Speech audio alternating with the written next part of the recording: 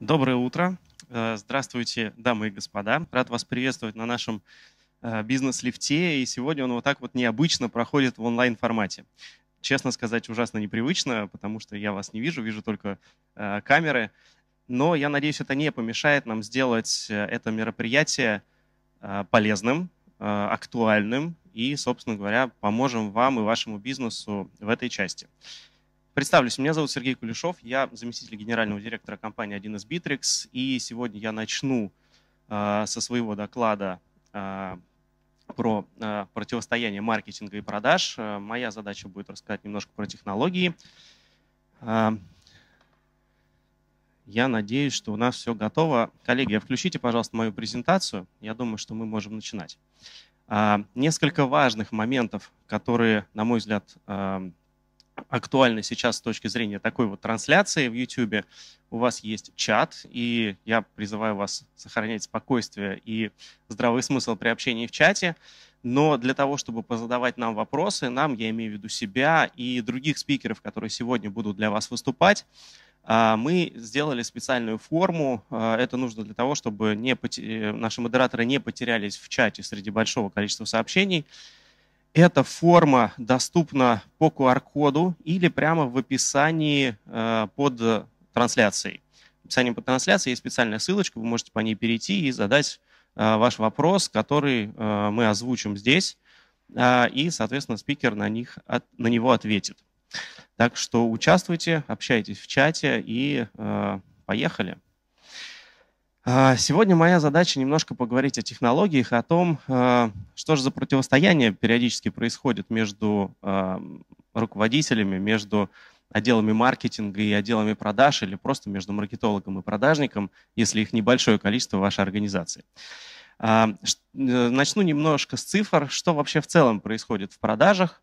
Ну, происходит обычно такое, что вызывает у меня нервную дрожь. Ну, например, а, как вы видите из э, цифр, порядка 80% компаний никак не используют данные о своих клиентах, которые даже смогли накопить. Ну, то есть помимо того, что не очень-то многие и накапливают эти данные, а, к сожалению, очень мало кто э, может их использовать. Порядка 70% компаний не строят свою воронку продаж и не выстраивают вообще всю цепочку взаимодействия с клиентом, весь клиентский путь Э, по которому клиент идет, э, пробираясь через препятствия для того, чтобы отдать в компанию деньги, для того, чтобы получить хороший сервис или хороший продукт. Ну и отсюда вытекает третья цифра. Всего лишь 22% руководителей довольны своими продажами. Э, в общем, неприятная картина. Но давайте посмотрим еще на несколько цифр, которые, на мой взгляд, очень важны. Это роль технологий в продажах. 24% продавцов анализируют э, ситуацию со сделками, да, то есть вообще разбираются, выиграно, проиграно и почему, да, то есть почему, например, выиграны сделки, какие факторы повлияли на этот выигрыш, анализируют, почему сделка была проиграна, да, и разбираются, как избежать э, каких-то препятствий для клиента в этой части, что можно поменять во внутренних процессах и так далее. 31% а, сделок срывается по банальнейшей причине, потому что продавец поговорил не с тем человеком. Это тоже, на самом деле, проблема скрипта, проблема управления продавцами, проблема выстраивания для них э, определенных стандартов, по которым они должны действовать. И 39% э, отделов продаж имеет свои э, сценарии. Да? То есть количество уже больше. Э, безусловно, я надеюсь, что многие понимают важность сценариев в продажах, важность выстроенных процессов. И, конечно, этот показатель неплохой. Так против... переходим к противостоянию. Откуда берется противостояние и что, собственно говоря, оно из себя представляет? Сразу скажу, что основная, это довольно очевидная вещь, основная проблема противостояния двух, э, э, скажем так, подразделений в компаниях – это разные цели. Да, ну то есть вот простой пример. А, когда вы покупаете себе рекламу, то есть ваш маркетолог оплачивает какой-то счет, закупает где-то рекламу и получает какое-то количество а, фидбэка от клиентов. То есть они начинают звонить, писать, приходить в компанию и так далее, реагируя на рекламное объявление. Ну, я надеюсь, что рекламная э, компания была достаточно грамотной, чтобы все-таки привести лиды. Но в этот момент э, часто возникает э, проблема с тем, что конверсия в продаже не такая, которую бы все ожидали. И тут возникает вопрос, а кто виноват и что делать? Да, потому что денег нет, а нужно держаться, как было написано у меня в названии доклада. А, и здесь обычно возникает такая стандартная проблема, когда одни говорят на других, те на этих, что реклама плохая, не те лиды привели и так далее. А, соответственно, а, продажники, маркетологи говорят, что нет, мы все нормально привели, вы просто продаете плохо и так далее. И здесь очень важно задуматься над тем моментом, то есть как вообще на корню зарубить вообще любые противостояния, любые проблемы в этой части, это разобраться с тем, какие цели и задачи стоят перед отделом маркетинга, и какие цели и задачи стоят перед отделом продаж. Ну, в частности, э, на какую цель работает маркетолог. Да, он, какие у него KPI, да, то есть что он должен сделать, чтобы получать свою зарплату в полном объеме. Безусловно, это в первую очередь приходит нам в голову, это правильное ведение рекламных кампаний, собственно говоря, доведение до результата, то есть при поступлении определенного количества лидов, лидов в отдел продаж. А, при этом, когда мы смотрим с вами на передовую, да, то есть на наш отдел продаж, которого, собственно, KPI – это продажи, да, то есть количество совершенных продаж в деньгах, в штуках, там не имеет принципиального значения, мы понимаем, что здесь что-то не так. Потому что на самом деле отдел маркетинга э, должен точно так же участвовать в процессе продаж, как отдел продаж, но разве что не быть на передовой, но обеспечивать эти продажи. И, э, собственно говоря, решением этой, этого противостояния является общая цель, да, поставленная для обоих отделов. И эта общая цель, безусловно, продажа. То есть как маркетолог, так и продажник должны работать на одну цель, на совершившуюся продажу. И когда мы таким образом выстраиваем наше целеполагание, мы получаем, собственно говоря, довольно существенный профит, потому что э, маркетинг теперь думает не только о э, как побольше привести лидов, а как привести лидов покачественнее, и, и видит фидбэк реальный от отдела продаж, э, наблюдает за тем, как это происходит, может интегрировать какие-то свои рекламные инструменты, рекламные материалы в процесс продаж, может помогать выстраивать сценарии, потому что понимает, э, лучше понимает, на что пришел клиент, с какой потребностью он отреагировал на рекламу и как из этого можно извлечь максимум пользы в процессе коммуникации с этим клиентом и так далее. И отдел продаж, соответственно, тоже получает от этого сплошное удовольствие, э, потому что у него начинает получаться, у него есть подспорье в виде отдела маркетинга, который помогает материалами, который помогает выстраиванием цепочек, помогает возвращать клиентов и так далее. А, как вообще, что должно происходить в компании, чтобы вот подобная история заработала? А, ну, безусловно, нужно а, помимо того, что ввести все воронки, да, начиная от первой, первой части воронки трафика и заканчивая, собственно говоря, превращением в продажи и в повторные продажи, нам нужно все это анализировать и давать эту аналитику а, как тем, так и другим. Но вот как простой пример а, такой житейский. Он, конечно, очень абстрактный, но я надеюсь, будет понятно, что я хочу донести. Прибегает супермен-маркетолог, которому прилетела задача, что нужны лиды, и решает запустить рекламную кампанию в, собственно, в социальных сетях. У него есть три канала, которые он может использовать, ну, условно три канала, безусловно, их, конечно, больше. Эти три канала он может использовать для того, чтобы привлечь клиентов. Ну и, собственно говоря, стандартная схема. Мы делаем там странички, мы делаем э, рекламные объявления, размещаем это на э, соответствующих рекламных площадках и начинаем крутить рекламу. А, рекламу мы прокрутили, э, у нас приходят лиды, все нормально, продажники довольны, у нас поступают, начинаются продажи, все хорошо. Но в этот момент, естественно, у всех начинает просыпаться аппетит и хочется продавать больше. А, собственно говоря, вот у нас есть такая картина, мы знаем, сколько стоит лид в каждой конкретной социальной стиле, для каждой конкретной рекламной кампании, в данном случае это не принципиальное значение, и, соответственно, тут мы э, выбираем, а куда влить больше денег, то есть какой, куда определить, эм, собственно говоря, следующий бюджет, да, как сместить э, акценты. Эм, с первого взгляда кажется, что вообще-то нужно пойти туда, где лид получается дешевле, это очевидно. Но дальше возникает следующая ситуация, что может возникнуть проблема, потому что мы влили туда, где дешевле, а продажи начинают не расти, а наоборот даже снижаться. потому что мы переместили свой бюджет не в тот канал, э, который давал основные, основной приход. Собственно говоря, в этот момент что думает директор? Что меня кто-то обманывает здесь, да, и, собственно говоря, спрашивает с двух наших противоборствующих сторон, типа, а кто виноват. И после определенного количества итераций, расчетов, аналитики и так далее, они могут выдать какой-то ответ, что типа, ребята, да, конечно, стоимость лида, она варьируется, здесь, конечно, сильно дешевле, но конверсия по этим лидам сильно ниже, а, зато есть более оптимальный подход, там средняя цена, но с очень хорошей конверсией. И понятно, что здесь э, кто был неправ? Маркетолог, который выбрал не ту рекламную кампанию, или продажники, которые не сказали, из какой рекламной кампании больше конверсия происходит и так далее. А, Все это, безусловно, решается а, настройкой аналитики. Да? То есть аналитика в данном случае важна там, в том числе для того, чтобы работать с едиными целями. И сквозная аналитика, э, которая позволяет отследить весь, весь путь клиента от э, того, как он увидел рекламную кампанию, отреагировал на нее, до того, как он первый раз купил, второй раз купил, третий раз купил и так далее. И таким образом мы точно понимаем, какой рекламный канал нам дает какую конверсию и какой приход в деньгах. А, но для того, чтобы э, такие чудеса работали, да, для того, чтобы наша компания и отделы, которые занимаются привлечением и продажами, были вооружены э, технологически, вооружены информацией, данными, которые им для этого крайне необходимы.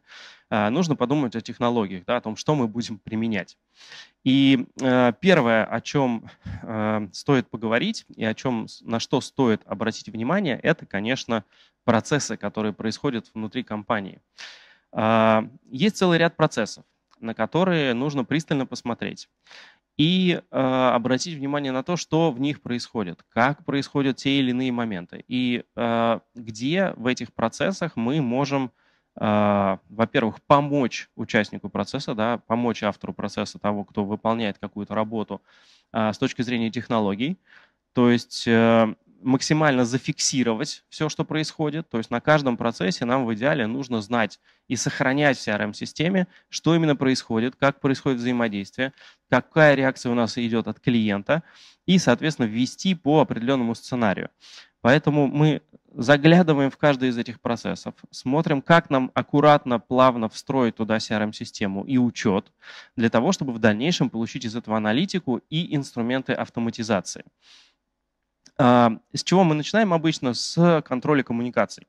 То есть одна из наших самых а, скажем так, важных вещей, потому что люди общаются с людьми, и нам нужно коммуникации затянуть в CRM-систему.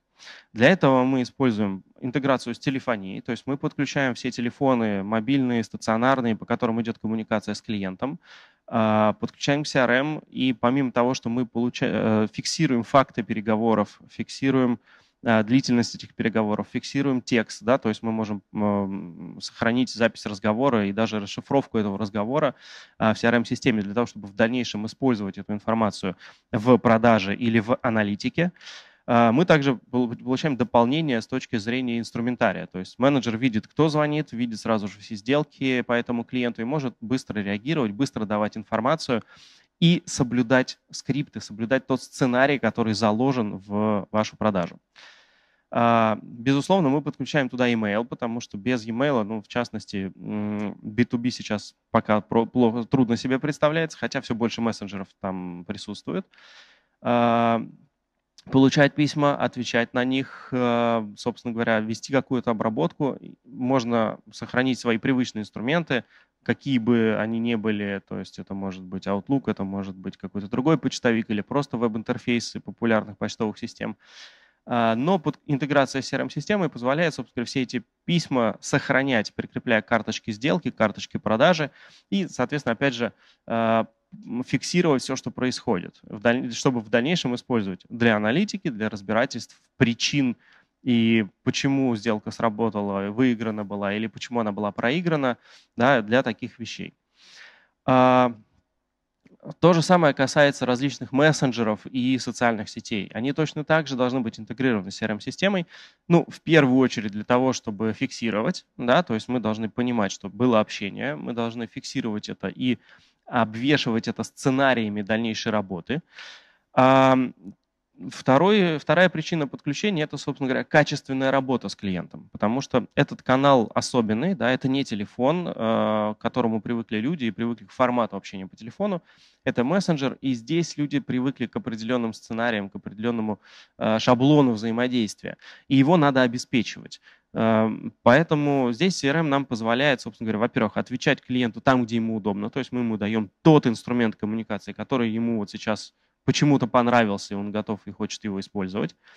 А, во-вторых, мы обеспечиваем качество этого ответа, то есть за счет того, что CRM-система имеет определенные сценарии взаимодействия, и в ней могут быть сохранены а, шаблоны ответов, а, которые менеджер может быстро подставить, там, откорректировать и тем самым соблюдать стандарт качества коммуникации с клиентом без дополнительных затрат по времени. Да? То есть, в конце концов, набор текста – это всегда определенное время. А, можно использовать для этого шаблонные ответы, которые, собственно говоря, будут сокращать время и увеличивать, улучшать качество взаимодействия с нашими клиентами. А, плюс к этому оперативная реакция, реакция на уровне как бы хорошего общения, так же как по телефону условно, через соцсети или мессенджеры дает и определенные преимущества с точки зрения продвижения, с точки зрения конверсии из той же рекламы в лиды. Вот простой пример. Э, на страничках вы сейчас видите, э, собственно говоря, вырезки того, как быстро отвечает компания. А, и, естественно, при реакции на рекламу, да, человек попадает на вашу, например, группу или на вашу страничку в социальной сети, и он видит, как быстро вы отвечаете. Ну и, собственно, от этого будет зависеть конверсия, то есть как он среагирует. Ответит он сейчас здесь, или пойдет идти через телефон и нагружать ваш колл-центр, или вообще подумает, да не, не готов здесь быстро общаться, значит, не буду в принципе. Да, то есть это тоже один из факторов, влияющих на эффективность рекламных кампаний. CRM нам позволяет все эти каналы затянуть в одно окно, э, затащить это, грубо говоря, в очередь из менеджеров и операторов, которые отвечают на эти вопросы, э, по сути, пользуясь одним окном. У них там и телефон, у них там и, собственно говоря, все чаты, все, все общение через какие-то соцсети, мессенджеры. И они спокойно, э, без паники, используя шаблонные ответы, отвечают и общаются с клиентами, обеспечивая высокий уровень стандарта качества и, собственно говоря, хорошую конверсию. А, при этом контакт-центр, который является неким связующим а, звеном всех коммуникационных каналов э, CRM с э, клиентами, обеспечивает довольно много всяких каналов, да, то есть это а, Понятно, история с колл-трекингом, то есть там нужно размещать телефоны, менять их в зависимости от того, откуда и по какой рекламной кампании нам звонят, чтобы отслеживать для сквозной аналитики совершенно ну, как бы точную, точную цепочку действия и переходов клиента. А, сбор различных заявок из лид-форм в социальных сетях, в поисковом э, индексе, да, то есть когда Яндекс э, ввел э, Яндекс Чат, стало удобно просто прямо из результатов поиска с компанией пообщаться. Этот инструмент также повышает конверсию работы рекламы и работы, например, а, тех средств, которые вложены в SEO-продвижение. А, WhatsApp, Telegram, Instagram, электронная почта и многое другое, все это подключается в режиме контакт-центра. То есть вы заходите в один инструмент в CRM и выбираете те каналы, которые хотите подключить, и подключаете их с помощью инструкции. Но мы идем дальше. А, каналы коммуникации мы подключили, и дальше для того, чтобы, опять же, во-первых, разобраться, кто же прав, кто виноват, да, и объединить единой целью и собрать это все в одну аналитику, нам нужно выстраивать следующие цепочки. То есть э, лиды, которые мы получили так или иначе. И неважно, это магазин, лендинг, просто социальная сеть, э, просто лидозахватывающая форма и так далее, какой-нибудь телеграм-канал, по сути, не имеет значения. Все это превращается в какую-то коммуникацию или в заявку, или в конкретный заказ, который должен попасть в CRM. И после этого мы в CRM начинаем работать с тем, что происходит. А, по поводу воронок. У нас с вами есть эм, эм, большое количество воронок. И зачастую, если мы разделяем KPI разных отделов, то есть, грубо говоря, отдела маркетинга и отдела продаж, то у них получаются две свои отдельные воронки. То есть маркетинг работает с трафиком, дальше он работает с э, реакцией на, собственно говоря, объявление, то есть с переходом, дальше он работает с каким-то call to action, то есть с тем, отреагировал клиент, ввел ли свои данные, нажал ли кнопку «Заказать» и так далее. И, по сути, на этом его воронка условно заканчивается. У продаж в этот момент воронка начинается. То есть, грубо говоря, наш с вами менеджер по продажам получает этот лид где-то и начинает с ним работать, у него своя воронка.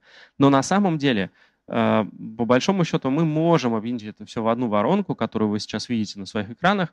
То есть мы от э, работы с трафиком до приземления его, до получения лида, дальше к э, продажной какой-то процедуре, да, когда мы общаемся, коммуницируем, совершаем какие-то действия для того, чтобы клиент от, э, приобрел.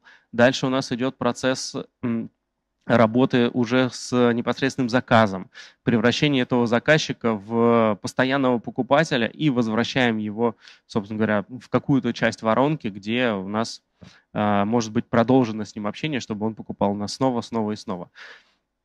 И настраивая эти воронки в CRM-системе, мы можем, опять же, оставить их разными.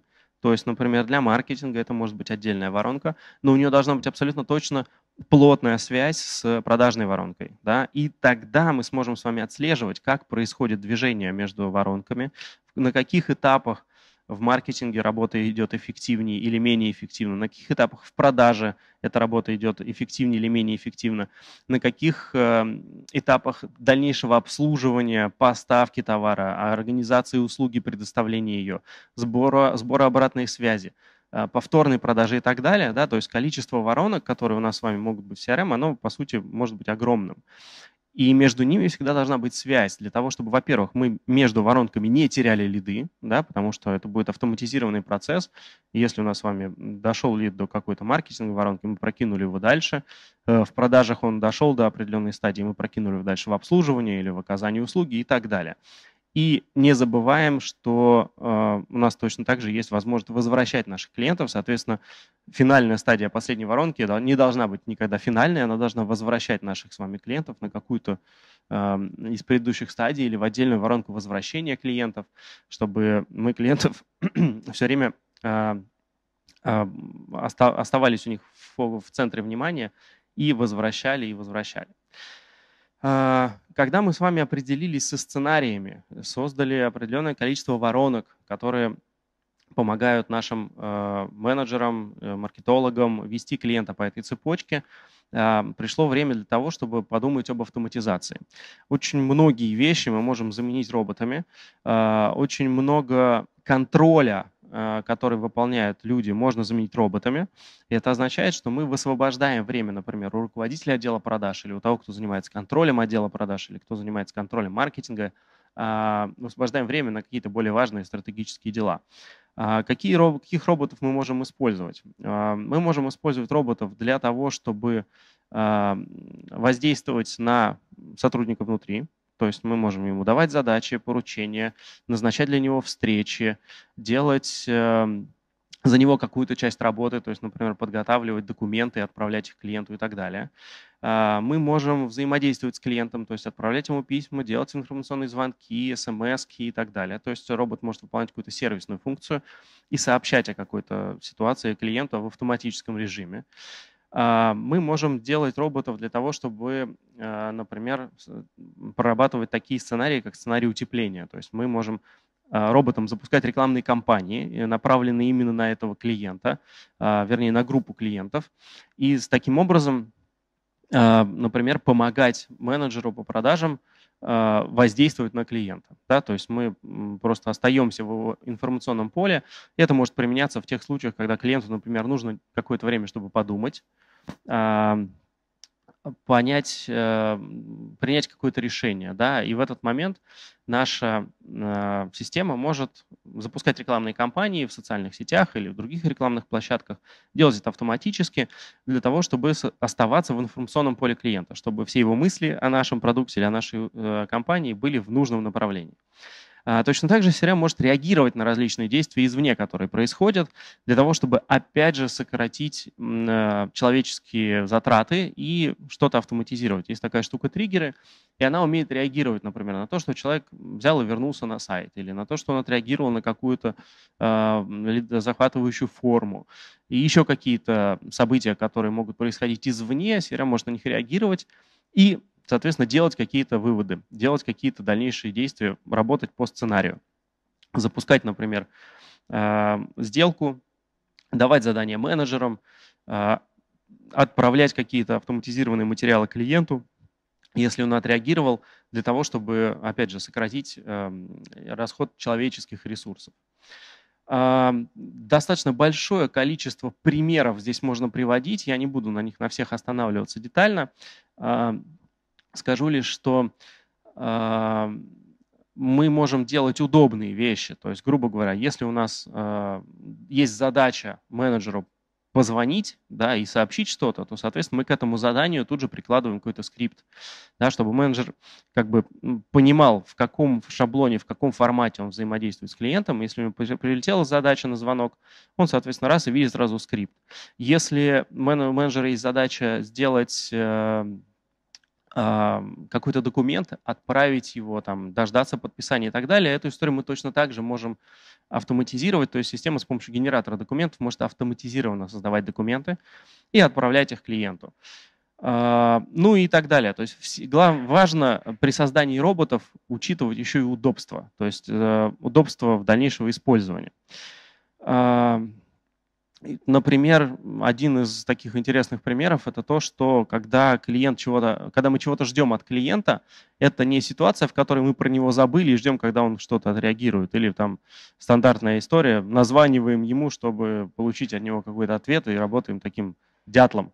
Да, мы можем использовать какие-то дополнительные вещи, да, то есть мы можем, например, э, отправлять ему автоматизированные смс, чтобы менеджера не трогать, да, с напоминанием о, той, или, о том или ином вопросе, ответ на который мы от него ждем.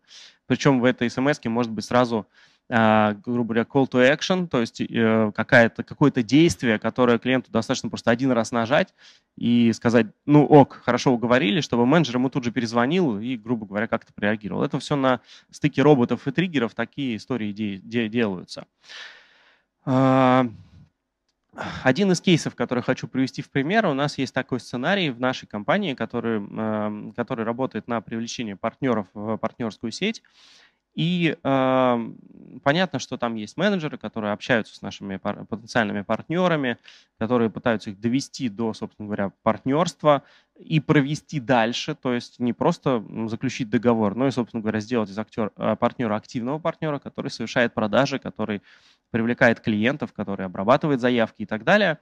И, собственно, это понятный процесс, который э, после подобного рода автоматизации, ну вот было создано порядка 50 роботов CRM, построена воронка, э, порядка 50 роботов CRM, и вот за счет вот этой автоматизации, без увеличения штата, без увеличения количества ресурса, да, мы смогли увеличить конверсию ну, практически вдвое.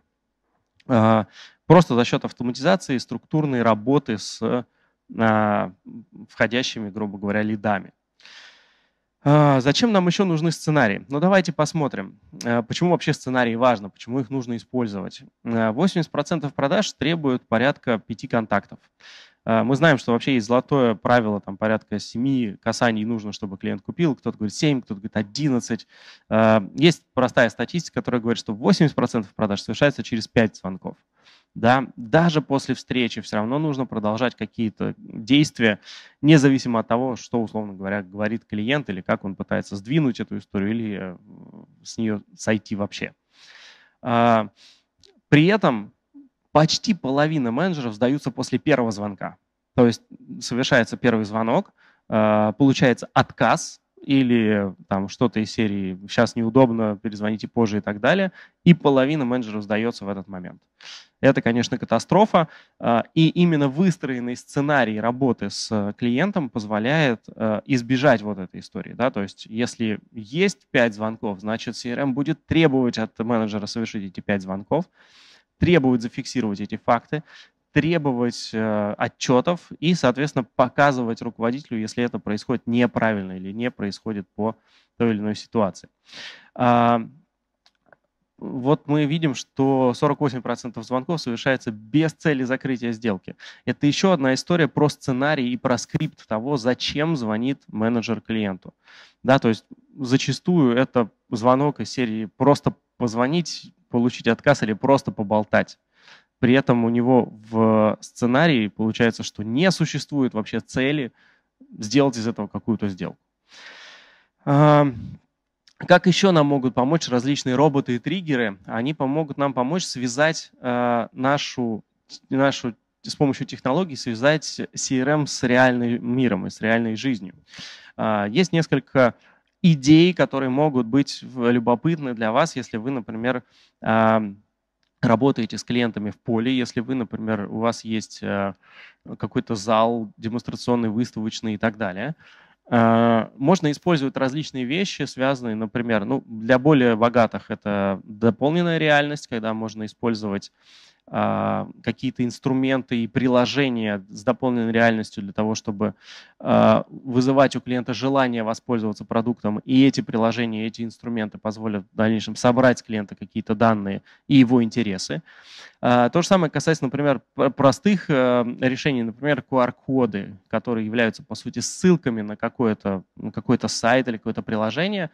И переход по этой ссылке да, может уже быть Э, тем самым триггером, на который сработает CRM-система, зафиксирует, например, какой-то интерес. Э, там уже дальше сайт может собрать контакты или показать чат, или каким-то образом прокоммуницировать, но данный переход уже будет э, реакцией на реакции CRM на, собственно говоря, какой-то интерес покупателя. И таких связей, игровых механик или каких-то современных технологий может позволить нам эффективнее работать с клиентами, ну, грубо говоря, которые в реальной жизни ходят там по городу, по залу, по офису и так далее. А, и когда мы выстраиваем с вами все это в одну воронку, собираем в едином месте, у нас есть возможность это все анализировать. И здесь нам помогает, собственно говоря, аналитика э, найти несколько интересных вещей. Ну, во-первых, мы понимаем, э, как делаются продажи, на каких этапах происходит с какой эффективностью обработка и взаимодействие с клиентом. Мы смотрим на аналитику практически в любом разрезе по менеджерам, по продуктам, по сценарию, по там, различным воронкам и так далее. То есть вообще изучаем э, и ищем узкие места. То есть вообще вся аналитика нам нужна для того, чтобы найти узкое место и попытаться его расширить, чтобы именно в этом месте э, стало лучше, да, и больше э, денег приходило в компанию, и больше денег про, проходило через воронку. Один из кейсов, которые, вернее, тут даже несколько кейсов, которые, в которых аналитика – помогла пересмотреть бизнес-процессы и модель для того, чтобы увеличить, э, собственно говоря, продажи. Ну вот, например, изучение того, как поступают лиды, да, и анализ э, этих данных позволил компании э, переместить рабочий день позже, то есть раньше работали до 18, переместили на, по сути, 3 часа вперед, то есть до 21 часа, оставив дежурного менеджера и увеличили тем самым конверсию просто на 7% на ровном месте. Ну, нельзя сказать на ровном месте, плюс 3 часа или смещение какого-то графика, да, но это дает существенную прибавку. На большом обороте, что такое 7%, я думаю, вы представляете. А, некоторые любопытные выводы, например, что не надо слишком много новых лидов на каждого менеджера. То есть в день у него должно быть не более 8 лидов. Ну, это отношение имеет к какой-то конкретной компании, связано с ее моделью продаж и с ее там, ну, продуктом. А, соответственно, было понятно, что как только превышается количество лидов, эффективность резко падает. То есть менеджеры не успевают, теряют из виду, а, не успевают просто качественно обработать, если лидов больше 8 в день падает. А, не более 5 продуктов на менеджера. Тоже любопытная история. Казалось бы, менеджер должен знать всю линейку. Но вот более узкая специализация менеджеров позволила, и опять же, увеличить конверсию за счет того, что люди стали лучше разбираться в тех в ограниченном количестве продуктов, и передавать э, клиента другому менеджеру, если его интересует другой продукт. И в этом случае, опять же, общий результат компании, общий результат дела продаж растет. Ну и э, всякие такие вещи, например, э, какой канал работает лучше, да, откуда приходит какая категория клиентов, как э, менеджеры работают с этой категорией клиентов. Ну, то есть может быть такое, что люди, приходящие из Инстаграм, имеют определенные особенности, с которыми лучше работает какой-то конкретный человек, потому что он сам там инстаграмщик. Ну, грубо говоря, они там на одном языке лучше друг друга понимают. Пример банальный, но такое перераспределение может опять же повлиять на конверсию. И просто увидев, что один из менеджеров лучше работает с каким-то из каналов, мы либо начинаем перенимать у него опыт, да, то есть начинаем следить разбираться, в чем же его секрет успеха, и пытаться пытаться научить этому других, либо перераспределяем для того, чтобы вот этот менеджер работал именно с этим каналом, а, а с другие с него снимаем, потому что там лучшую эффективность показывают другие менеджеры. Ну и так далее. То есть это все такие не всегда очевидные вещи, которые можно выяснить из аналитики и, собственно говоря, улучшить, а, улучшить конверсию, улучшить продажи, просто вот а, правильно посмотрев под нужным углом в цифры. А, дальше сквозная аналитика. если уж мы с вами выстроили все воронки и разобрались, что происходит у нас с клиентом от начала, когда он пришел, Э, увидел рекламу и с ней взаимодействовал до того, как мы начинаем ему продавать вновь, вновь и вновь. Э, собственно говоря, нам поможет сквозная аналитика. Сквозная аналитика сохраняет нам все, что происходит с клиентом на этом пути. Да, то есть мы видим, по какому объявлению он пришел, по какому там телефону он позвонил, э, на какую ссылку нажал, как сработало то или, конкретное, или иное конкретное объявление. При подключении к трафику, собственно, к рекламным кампаниям, к рекламным площадкам, мы начинаем получать данные о бюджете. То есть мы понимаем, сколько бюджета было потрачено на этот переход, понимаем среднюю стоимость клиента в этом канале и понимаем, сколько нам клиент в этом канале приносит фактически денег. То есть, по сути, мы получаем ответ на очень простой, понятный вопрос. Насколько эффективно работает рекламная кампания, насколько эффективно работает рекламный бюджет. То есть мы конкретно видим, что вот здесь мы потратили столько, заработали столько. И это хороший ответ – и дает возможность, собственно говоря, маркетологу достраивать рекламные каналы, перераспределять бюджеты, смотреть на то, как работает отдел продаж с тем или иным каналом и, собственно говоря, модифицировать объявления, модифицировать таргетинг и так далее, и так далее, и так далее. А, как происходит работа с сквозной аналитикой? Опять же, мы стараемся делать все максимально просто, то есть у вас есть набор каналов, которые вы можете подключить, источников трафика. А, вы их выбираете, подключаете и, собственно говоря, получаете а, отчеты о том, что происходит с точки зрения окупаемости рекламы, с точки зрения вклада сотрудников в эту окупаемость, по сути. То есть вы увидите как раз ту самую информацию о том, какой а, менеджер, какой вклад делает в том или ином канале, насколько эффективна конверсия, насколько эффективно он работает и конвертирует из того или иного канала. Можете менеджеров тасовать для того, чтобы понимать, а, кто где лучше сработает. Да, и, и здесь прямо реальный ответ на реальных цифрах – а, тут проблема в менеджере или в лидах, да, то есть вы увидите, можете, как бы, опять же, перед, перетасовывая менеджеров, улучшать э, историю и ситуацию с а, конверсией. Для того, чтобы всему этому научиться а, и используем, в частности, сквозной аналитики в, нашей CRM, Bittrex24 CRM, вы можете использовать, э, изучить наш видеокурс, который был специально записан по сквозной аналитике, как ей пользоваться, как настраивать, какие есть нюансы и так далее. Это видеокурс всего за час времени. Мои коллеги э, с экранов ваших ноутбуков или компьютеров расскажут вам о том, как этим пользоваться и научат вас с этим работать. Э, у меня есть QR-код для тех, кто умеет пользоваться QR-сканерами. Слава богу, в современных айфонах эта штука уже работает, и можно просто перейти по QR-коду и, соответственно, попасть на этот, э, на этот курс по сквозной аналитике. Если вас это интересует, то, пожалуйста, пользуйтесь, сохраняйте себе ссылку. Итого, у нас с вами получается, что задача директора по продажам, продажника, собственно, выстроить воронки, э, с которыми взаимодействует, по которым взаимодействовать с клиентом, а, а, обогатить это все сценариями взаимодействия. А задача директора по маркетингу, да, помимо своей воронки, собственно говоря, искать точки усиления а, отдела продаж с помощью своих инструментов. То есть у маркетолога в кармане есть большое количество инструментов, которые он может использовать. Это там e-mail маркетинг, это рекламные объявления, это рекламные материалы, которые он может готовить и, собственно говоря, создавать для отдела продаж. И вот задача отдела по маркетингу, помимо генерации трафика и привлечения, еще и усиливать отдел продаж в этих местах. А, ну вот мы набрали клиентскую базу, и тут вопрос, собственно, как ее использовать дальше. Что еще у нас есть а, с точки зрения а, возвращения клиентов? Потому что если мы начали считать вам с точки зрения сквозной аналитики, насколько эффективно а, мы привлекаем, насколько эффективно тратим рекламные деньги, у нас с вами может возникнуть вопрос такой, что подождите, а что-то у нас очень эффективно-то и не получается, и модель не очень бьется. Ну, то есть, грубо говоря, мы потратили там 10 тысяч на а, привлечение, я цифры абстрактные, не обращайте внимания, и заработали с них там, не знаю, 11 тысяч. И тут вопрос типа, ой, а как так? Мы заработали всего тысячу рублей, по сути, на каком-то количестве трафика. И тут возникает вопрос, а что с этим делать? То есть, да, как, э, потратив те же 10 тысяч рублей, заработать 20, 30, 40, 50 и так далее. И тут возникает вопрос, собственно говоря, оценки LTV, да, то есть вообще э, понимание, а как долго клиент с нами взаимодействует, как много денег он нам может принести, с момента, когда мы его первый раз привлекли, потратили деньги на его привлечение, до момента, когда он про нас совсем-совсем забудет, и, собственно, наши отношения на этом закончатся. И вот этот период – это lifetime, э, жизненный цикл, по сути, клиента, да, время жизни его.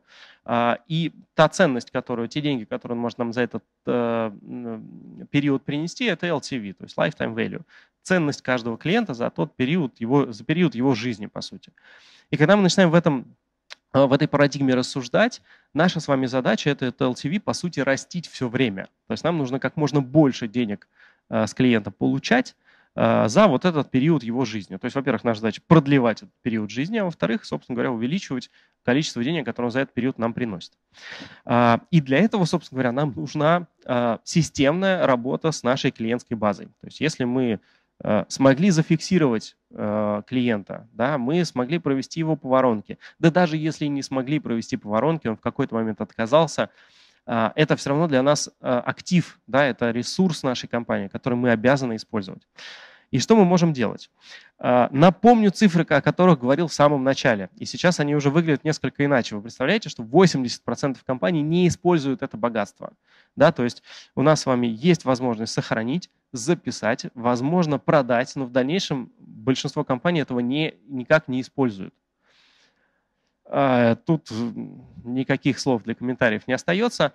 А, давайте посмотрим, что мы можем с этим сделать. У нас есть несколько путей. И, конечно, один из путей – это email маркетинг.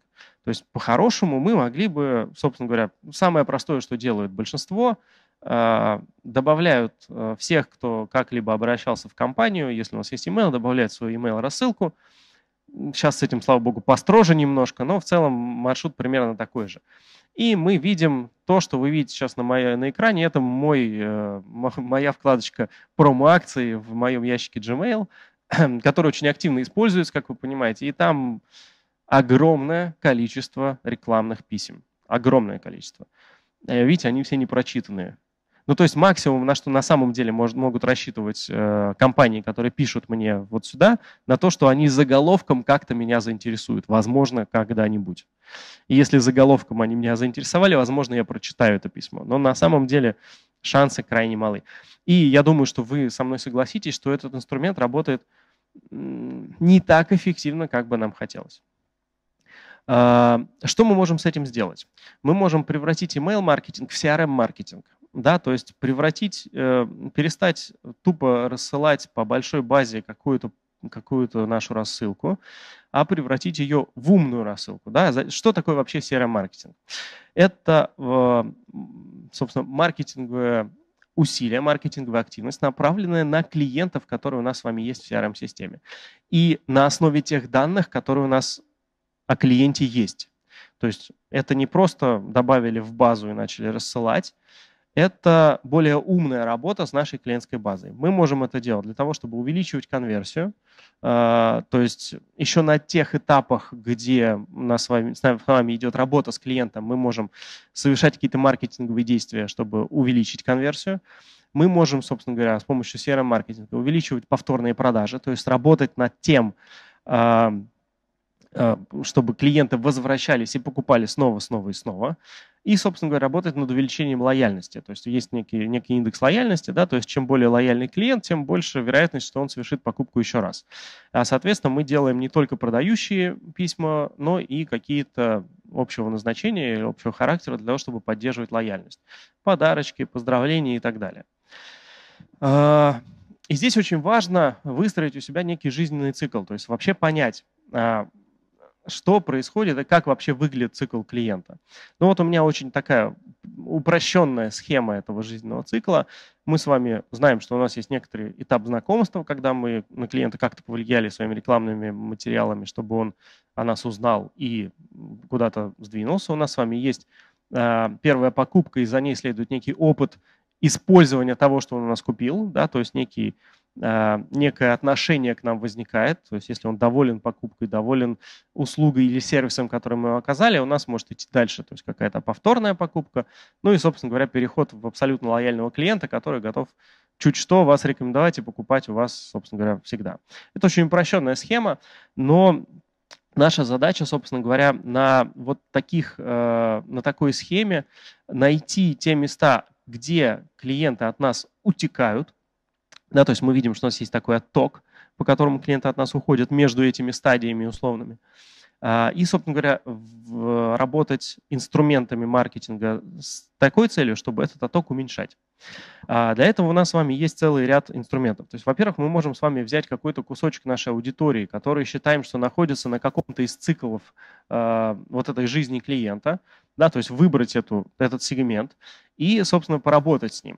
При этом мы выбираем сегмент по абсолютно разным критериям и параметрам. Мы можем в том числе ручные параметры задавать, можем делать какие-то автоматизированные параметры из серии, там, как давно общался или как давно покупал, или, например, клиент, находящийся на стадии э, опыта использования нашего продукта или сервиса, да, это тот, кто у нас недавно купил. Вот, собственно говоря, пожалуйста, сегмент для взаимодействия с ним. А, или те, кто там совершил вторую покупку, но никак не перейдет в режим там, лояльности или третьей покупки и так далее. Вот, пожалуйста, тоже сегмент, который можно выделить в своей клиентской базе. А, при этом на самом деле в критериев для сегментации может быть достаточно много. Это может быть э, положение вот на вот этом вот цикле жизненном клиента. Это могут быть какие-то другие факторы. Ну, то есть это может быть какой-то географический фактор, это может быть э, демографический фактор, это может быть социально-экономический. Ну, то есть, грубо говоря, сколько э, человек потратил или готов тратить деньги, э, какой у него уровень дохода, какие-то поведенческие истории. Да? То есть, например, почему он принял решение о покупке, э, какую выгоду он получал от этого товара или услуги для себя лично, или в целом это была необходимость и так далее. То есть этих факторов достаточно много. И для того, чтобы их использовать, да, опять же, наша задача эти факторы собирать. То есть э, встройка в сценарии взаимодействия с клиентом еще на этапах продаж, на этапах взаимодействия с клиентом, оказания ему услуги, э, должна быть таковой, чтобы мы э, в CRM сохраняли различные э, вот эти критерии. Ну, то есть, например, нам не проблема сохранить локацию, то есть мы так или иначе с клиентом взаимодействуем, знаем, где он там живет или где работает, какой-то адрес имеем. Окей, у нас есть э, сегмент по локациям. Э, для того, чтобы понять какие-то вещи, связанные с его соцдемом, да, мы можем там опять же выяснить, там, ну, пол очевиден, возраст условно можно узнать или включить в скрипт дополнительные вопросы, которые менеджер в процессе продажи или в процессе оказания услуги уже там зададут ему и выяснит и сохранят в CRM для дальнейшей уже э, сегментации и использования этого в, э, в продажах и в генерации повторных продаж. И, конечно, в дальнейшем наша задача использовать те каналы коммуникации, которые у нас с клиентом работали, да, для того, чтобы, собственно, его возвращать. Email-маркетинг никуда не девается, просто он становится умным. Да? Мы делаем четкие сегменты с четкой выявленной нами потребностью и направляем письма не большим, как из пушки по воробьям, а более точечными ударами, по сути, как из снайперской винтовки по воробьям. Ну, то есть мы знаем, что у нас есть определенные сегменты, мы знаем, какую потребность, какой продукт, какой товар, какую услугу сейчас ему предложить, чтобы вероятность реакции была выше. То же самое касается и мессенджеров и социальных сетей. Если клиент с нами прокоммуницировал через такой э, инструмент, то, соответственно, нам ничего не мешает этот инструмент использовать для дальнейшей коммуникации с ним. CRM-система может сама инициировать, э, собственно говоря, общение там. А, если общение было раньше, мы создаем сегмент и, соответственно, направляем в мессенджеров э, какое-то предложение, опять же, точное, очень узко таргетированная именно на определенный сегмент. И таким образом мы можем сделать наши вот эти коммуникации не просто беспорядочной рассылкой, а очень точным инструментом, который позволяет нам возвращать клиентов и, собственно говоря, не вызывать у них раздражение спамом. Э, серия-маркетинг точно так же может работать и с рекламой. То есть мы можем брать сегмент наших клиентов и не использовать каналы прямой коммуникации, да, то есть прям присылать письма, присылать сообщения, совершать звонки, смс и так далее, а косвенного взаимодействия. То есть мы запускаем рекламную кампанию, таргетируя на наш сегмент. И в этом случае мы, э, собственно говоря, вызываем еще меньше раздражения, и для нас это, опять же, с точки зрения бюджета достаточно эффективно получается, потому что сегменты не очень большие, но они очень целевые. И это означает, что, скорее всего, реакция на объявление, даже если оно будет достаточно дорого стоить, будет крайне эффективной. А, и мы таким образом получаемся в пространстве клиента, да, то есть он нас видит в своей повестке дня в Фейсбуке, в ВКонтакте, в Инстаграме, везде, где он, собственно, проводит свое время, там мы у него появляемся. И это хороший инструмент опять же, очень точного таргетинга. Да? То есть мы можем выбрать сегмент, главное, чтобы он был достаточно большой по размерам, и сформулировать очень точное предложение для этого сегмента и, собственно, направить его вот таким каналом коммуникации с помощью рекламных объявлений. Ну, а дальше уже понятно, что там есть лид-захватывающая форма, э, триггеры, роботы и так далее. И э, еще один момент, на который я хочу здесь обратить внимание, это целостность вообще всей этой стратегии. То есть инструменты понятны, понятно, что мы можем делать и как. И вот здесь очень важен как бы целостный подход. Вот у меня есть э, один из, на мой взгляд, негативных примеров э, ой, массивного маркетинга, email-маркетинга, когда мы увидим, что, ну вот из моего ящика за один только месяц, вот здесь один месяц представлен. За месяц мне вот такое количество имейлов приходит от одной компании.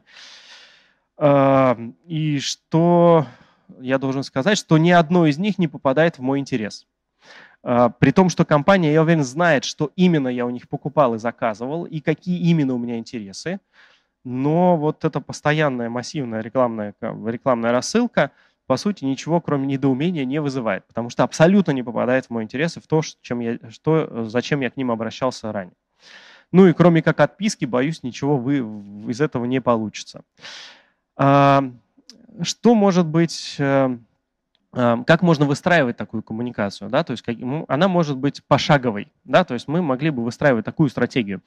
А, у нас есть э, малоинвазивный, грубо говоря, канал коммуникации – это реклама.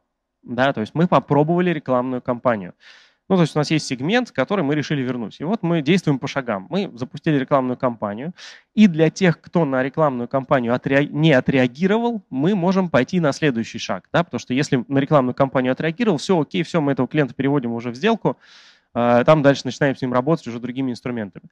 Но знаем, что у нас осталась большая часть, кто не отреагировал на рекламу. Мы можем Э, попробовать следующий, там, чуть более инвазивный инструмент и отправить письмо.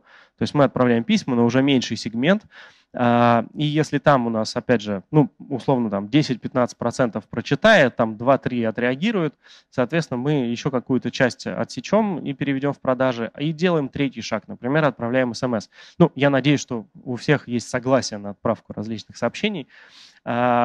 Опять же, если смс у нас какой-то эффект вызвало, но не сработало для большей части, мы переводим это в звонок, да, и дальше уже там либо автоматизированный, либо звонок менеджерам происходит. А, и таким образом мы с вами получаем очень э, аккуратную по отношению к личному пространству людей э, сценарий. Да? То есть мы им сначала рекламу показали, не отыгрывая, но попробуем посильнее пошевелить, посильнее посильнее наращивая, так сказать, усилия свои. И в то же время э, уменьшаем нагрузку на уже менеджеров, которые стоят там на последнем шаге этого взаимодействия, потому что мы испробовали все другие инструменты. И вот таким образом у нас могут быть выстроены регулярные или разовые сценарии возвращения клиентов вот по таким вот шагам. Э, и на самом деле в реальности вот такой подход в формировании работы продаж и маркетинга – это ну, реальная точка роста сегодня для компании, и это достаточно очевидно, а, потому что очень небольшой процент компаний вообще использует CRM, и очень маленький среди них процент использует подобную род, подобного рода технологии автоматизации своего CRM-маркетинга. Это означает, что вы сегодня можете быть быстрее, лучше и э, качественнее с этой точки зрения, чем ваши конкуренты. А, и есть даже некоторые исследования, которые проводят крупные IT-компании на этот счет. А, такого рода подход к своему маркетингу и к продажам, да, когда мы систематизируем и выстраиваем у себя, автоматизируем все это дело, мы получаем до 30% к прибыли, до почти 40% к удержанию существующих клиентов, то есть к повторным покупкам, и плюс 40% практически к конверсии.